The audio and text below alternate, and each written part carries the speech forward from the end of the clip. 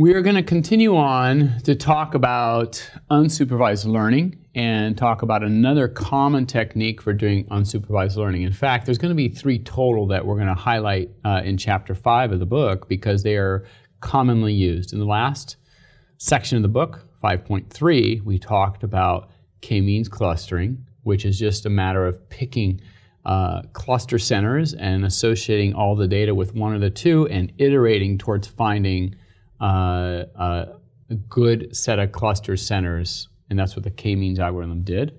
Today I want to talk about more about uh, what's called hierarchical clustering. This is out of section 5.4 out of the book Data Driven Science and Engineering, Brunton and Kutz, databookuw.com. You can find many more lectures, lots of MATLAB and Python code, and a lot more uh, video lectures online. So let's talk about this unsupervised learning technique, hierarchical clustering. So it's just like it sounds, we're going to build, start taking the data and start constructing an algorithm in a hierarchical sense towards making decisions about where data sits in a cluster so that we can classify. Now, again, it's unsupervised, so there are no labels. I simply give you data, and your job is to provide labels for that data in some kind of uh, uh, in some kind of principled fashion. K-means did it one way. Hierarchical clustering is going to do it another way. Just like k-means, there was a decision that had to be made, which is how many clusters do you want? And in hierarchical clustering, some of that decision process uh, you can start to see how it might play out, as I'll show you in a little bit, in what we call building dendrograms. And these dendrograms contain enough information for you to potentially make principal decisions about the number of clusters you want to use in the first place. So how does hierarchical clustering work? Well, there's two forms of it. Agglomerat agglomerative, I can't even say the word. You can read it, there it is, and divisive. So the difference between these two hierarchical clusterings is, uh, is the following. Uh, in divisive, let's start, start there first. You think about all the data I give you as being one giant cluster. And what you do in the divisive method is you say, I'm going to have a principled way to now split it into two clusters, and then three, four, five. In other words, all the way down to each point being an individual cluster. Okay, so you start off with one massive cluster and you find an algorithm that splits it into n distinct clusters where you have n data points. That's divisive. The alternative to this is to instead start off with each point is its own cluster, so you have n clusters, and then start combining clusters so that you start off with n clusters and you aggregate all the way up to the top to the one supercluster. So in one case you go from bottom up, the other one you go from bottom, sorry, yeah, so bottom up, and the other one you go from up to bottom. Okay? So those are the two types of hierarchical cl clustering that you would have available to you. And we're mostly going to focus in on starting here with starting off with every point's a cluster and moving up and aggregating as we go. And the way we're going to do this in hierarchical clustering is we're going to have to first define some metrics. What does it mean to be close in space to another data point? So this is a really important issue because how you measure this determines a lot about how the clustering is going to happen. and what I'm giving you here is a set of metrics you can always just use your standard Euclidean distance, right? It's an L2 metric between two vectors, right? xj minus x of k norm squared. Um, or actually, that's the Euclidean. The square Euclidean is with the square. There's a Manhattan distance. This is the L1 norm, and we already talked about in chapter 4 the differences about regularization using different norms, whether L2 or L1, because those metrics really matter. And here, Again, you see them showing up here. You have two norms, you have one norm, infinity norms, and then you also have this thing called the Mahalanobis distance. So these are different metrics you can use to measure how far one data point is away from another. Your choice of metric will give you, can give you, significantly different results. Okay, so just keep that in mind. And in fact, the choice of metrics might be exactly what you need to give you results that make sense and are meaningful. Some metrics may give you just nothing that you can really make good decisions with about your data. So I'll just leave that out there. And the hope is that you have some intuition about your data, about what metric you should use as the best for that data set. so let's talk about what's called the dendrogram. and this is going to be the hierarchical clustering we want to do. And I want to show this algorithm in, in sort of in its usage. And very much like k-means, you can just simply execute this algorithm. There's not much thought into it. There's no optimization. It's just simply you know, in k-means, it was, it was an iterative algorithm, and same thing here. You're just going to walk through this algorithm, and you're going to start off with all of your data points in n clusters and walk it all the way up to there's one giant cluster, okay? All right, so here's how this is going to work. Those magenta balls are your data. And what the dendrogram is going to do in the first iteration is say, out of all those balls, which two are closest? Okay, so the costly part about building this dendrogram is for any point, I've got to compute my distance to all other points. Okay, so that can be expensive, especially for very high dimensional data. There are faster algorithms for doing this where you only look in a neighborhood, so you don't look at the distance to all points, you just look at those around you, but first you have to figure out who's around you to begin with.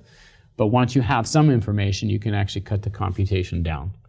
So in this case here, points 2 and 3 are closest together. So now what the dendrogram is going to do, or what this hierarchical clustering is going to do, is to basically merge these points into a single data point. And the single data point will be at the midpoint between them. So this is the idea. So now I started off with those two points. I've now merged them into one point. I'll now have three data points, not four three magenta balls, and I do the same thing as before, which is I say, now what is the distance between all the data? And now, in the second iteration, you can see that this point 0.1 to this new joint point 0.23 together is, in fact, the closest distance. So what I'm going to do is join those two together. So now on the second iteration, these two here get joined together into that ball right there. So now I have two data points. And of course, there's only one distance I have to compute between them.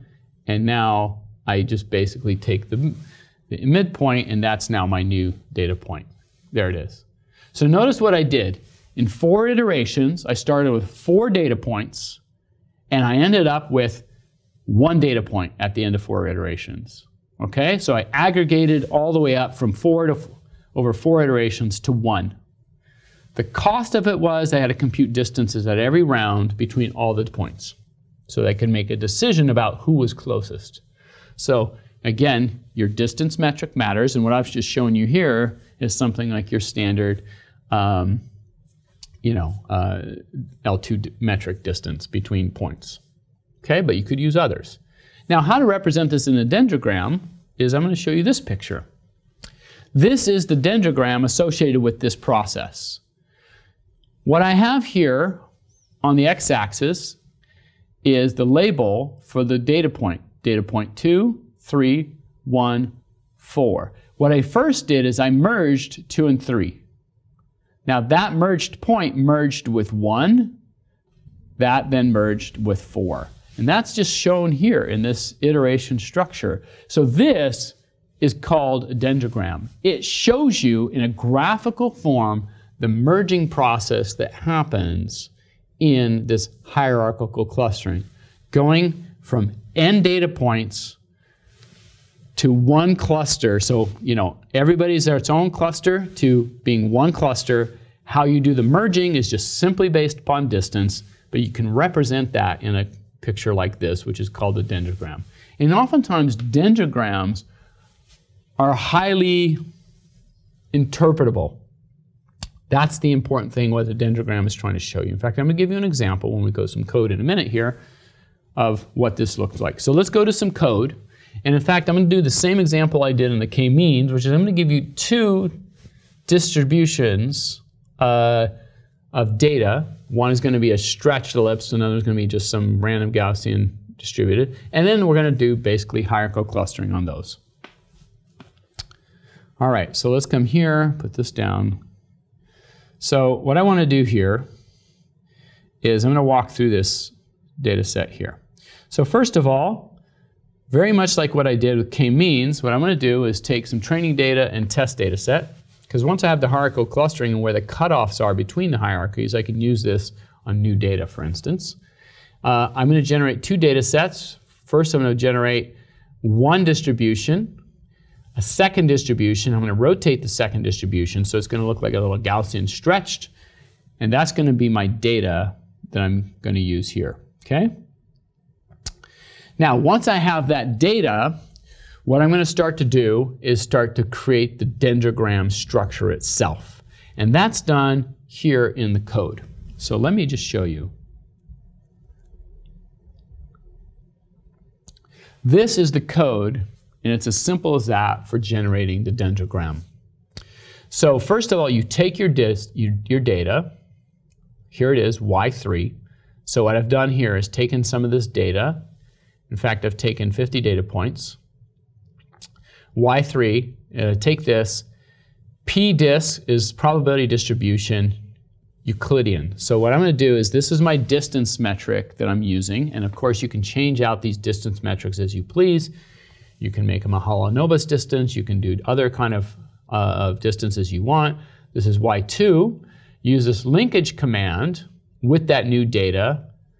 Again, you can put in some modifiers here. I'm using the average to create Z and then I can define a threshold. Now the threshold is going to tell me how many distinct clusters I want at a given threshold level. I'm going to show you the pictures here in a minute, and then you just simply take dendrogram, take this linkage data Z, color threshold, thresh. So I'm going to basically show you the thresholds in color, and I'm going to get back the metrics H and T and plot what those look like here on a dendrogram. Okay, so in fact, actually this will plot the dendrogram for you right here. Okay. I can also take a different threshold, which is what I've done down here. My threshold down here is now at 0.25 versus 0.85, and I'll show you the difference of these look like in practice. So if you run this, you'll create your dendrogram. Let me just show you the results here. I think they show up better here in the PowerPoint slide, so I'm going to do it here. Here's your first dendrogram. What it did is took those distributions and it basically constructed this following dendrogram through hierarchical clustering. Again, you can see the joining process that happens from this low level. This is all the data and how it gets clustered to its neighboring data. Again, it goes all by distance, whatever distance metric you pick, which was Euclidean here. It just simply says, out of all the possibilities of pairs of points, who is closest to each other? That's the first split. And then you see these bars across here tell you when these joinings happen. Now what's interesting about the structure of the dendrogram is you can see by setting that threshold, it says, look, by setting a threshold, I think you have two clusters, a red and a blue cluster. So it's starting to pick out how many clusters it thinks you have based upon the thresholding command. Okay? So that's what it does here. And it's a very nice representation of the data. So right away from a visual inspection point of view, not only did you see the aggregation process, but you also saw that there's sort of these two major branches where the data comes down in this hierarchy. So that tends to be fairly informative for people to start doing diagnostics on the data. Again, completely unsupervised, so you know nothing about this data, and now this is telling you something about your data. And now you can dig down on that. I could also go back to my original data and here this, this plot is important to see how well I did. So I had two clusters of data from two distributions. And so I drew this blue line in the middle and this blue line here. All the points, the first 50 points are supposed to be from one PDF that I generated the data. The second are from a second distribution of the data. So one way to think about it is everybody below this line should belong to the first cluster, that's the truth. Everybody on the other side should belong to the upper cluster, that's the truth. And so you see, it actually doesn't do so bad. In fact, if you look here, there's only a data point or, that really goes above this line. It's actually, I think that's two data points or one. There's some that are close.